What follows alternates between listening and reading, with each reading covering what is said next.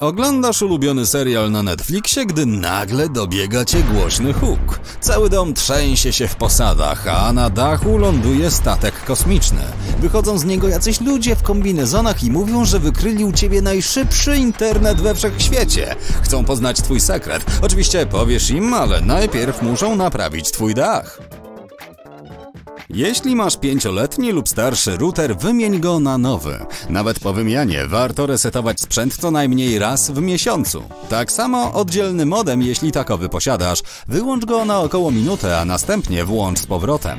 Takie zarządzanie mocą pomaga oczyszczać pamięć i niejednokrotnie rozwiązuje wiele problemów. Poza tym połączysz się z różnymi kanałami danych, które mogą być znacznie wydajniejsze i mniej obciążone przez użytkowników. Przenieś router do centralnego punktu w domu, najlepiej na piętro, gdzie spędzasz najwięcej czasu. Ściany, sufity, meble, większe akwaria oraz metalowe konstrukcje zakłócają sygnał wysyłany z routera do Twoich urządzeń. Z tego względu lepiej nie ustawiać go w piwnicy, szafie czy kuchni pełnej metalowych akcesoriów. Ponadto sygnał Wi-Fi zakłócają fale radiowe pochodzące z innych gadżetów, takich jak klawiatury bezprzewodowe, walkie-talkie czy choćby mikrofalówka lub telewizor. Nigdy nie umieszczaj routera w ich pobliżu.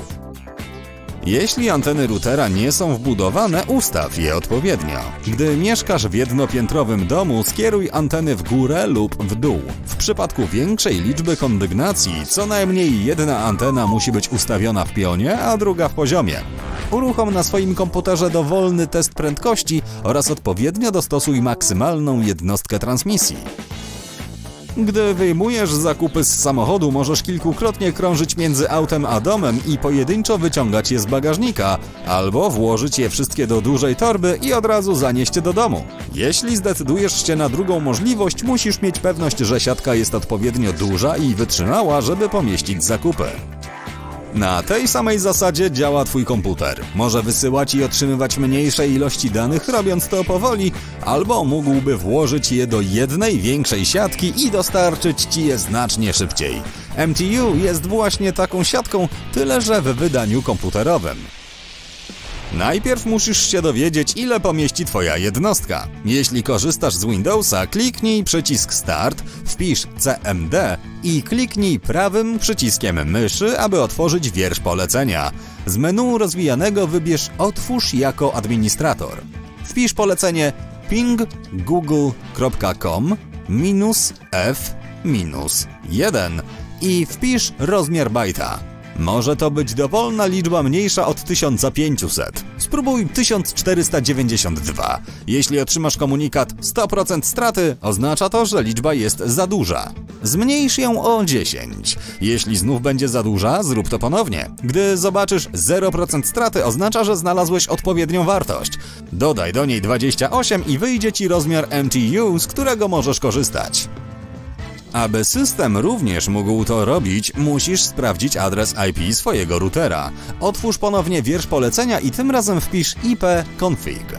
Poszukiwany adres pokaże się w linijce Default Gateway. Wpisz tę wartość w pasek adresowy swojej przeglądarki. Powinna wyświetlić się strona z możliwością logowania, a następnie ustawienia i łączność. Musisz przełączyć ją z automatycznej na manualną, wpisać wartość MTU oraz kliknąć Zastosuj. Jeśli natomiast masz Maca, w pasku wyszukiwarki Spotlight wpisz terminal. Następnie Network Setup, get MTU N0. Ta komenda wyświetli obecną wartość MTU. Teraz wpisz ping myślnik d myślnik s 1500 www.google.com.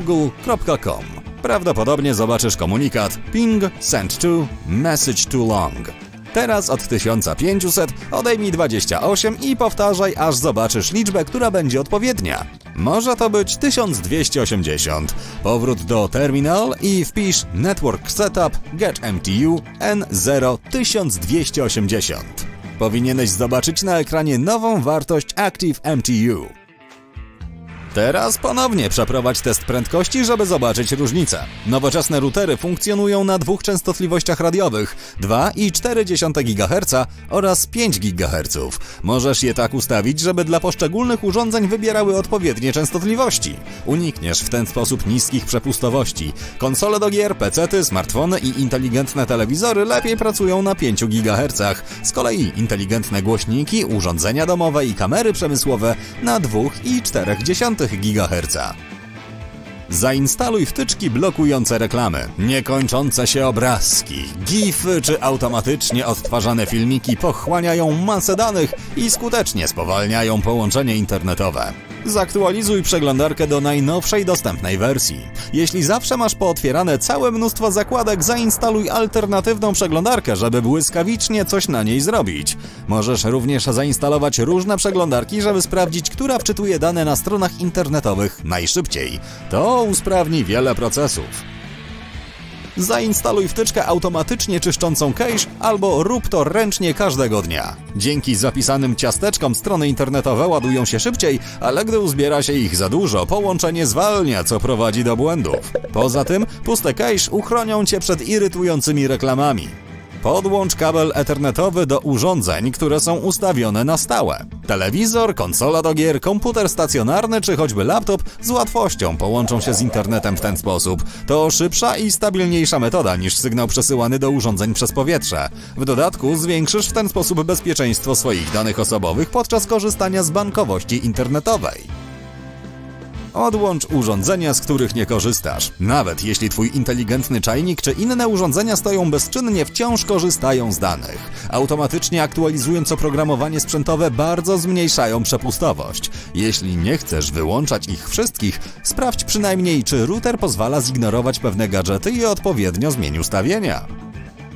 Zwiększ zasięg swojej sieci Wi-Fi przy pomocy wzmacniaczy sygnałów. Każdy z nich jest podłączony do oddzielnego gniazdka i łączy się z internetem, zwiększając zasięg sieci. Jeśli mieszkasz w dużym domu albo takim z dużą ilością ścian i rogów, wypróbuj system Mesh.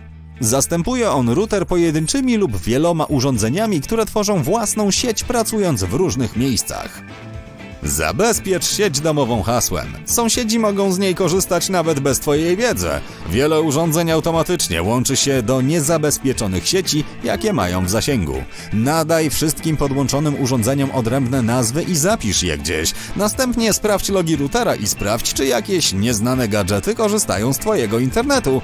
Jeśli tak, ustaw nowe, silniejsze hasło i zobacz, czy masz możliwość odłączenia intruzów. Sprawdź, czy w tle nie działają niechciane procesy. Przeglądarki, internetowe aplikacje przechowujące dane oraz usługi automatycznego wsparcia nieustannie pobierają i wysyłają dane. Jeśli masz komputer z Windowsem, możesz to wszystko sprawdzić w menedżerze zadań. Wpisz tę nazwę w wyszukiwarkę systemową lub wciśnij Ctrl, Alt i Delete. Następnie w menu wybierz menedżer zadań. Na Macu wystarczy wpisać w wyszukiwarkę Spotlight nazwę Monitor aktywności.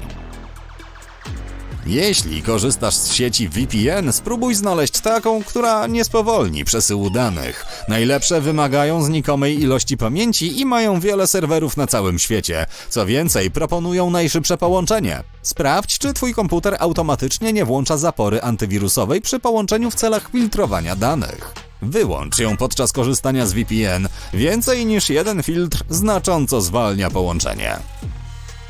O ile już go nie posiadasz, zainstaluj program antywirusowy oraz wykrywający złośliwe oprogramowanie. Zainstalowany na komputerze wirus zrobi wszystko, żeby między innymi spowolnić Twój komputer. Warto również regularnie aktualizować system operacyjny, ponieważ nowsze ustawienia sieci bezprzewodowych mogą nie być w pełni kompatybilne z Twoim obecnym oprogramowaniem.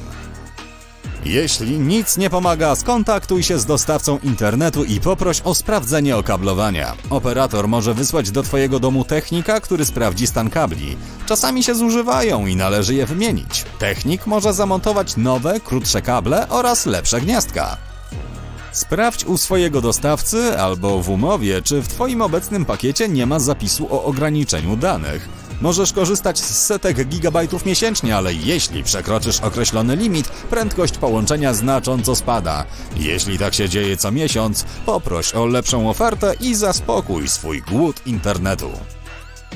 Kup nowszego laptopa, telefon, zestaw gamingowy lub inne gadżety, które można podłączyć do internetu. Nowsze urządzenia pracują w różnych standardach, włącznie ze starszymi, ale przestarzałe gadżety nie wspierają tych, które stworzono po ich wyprodukowaniu.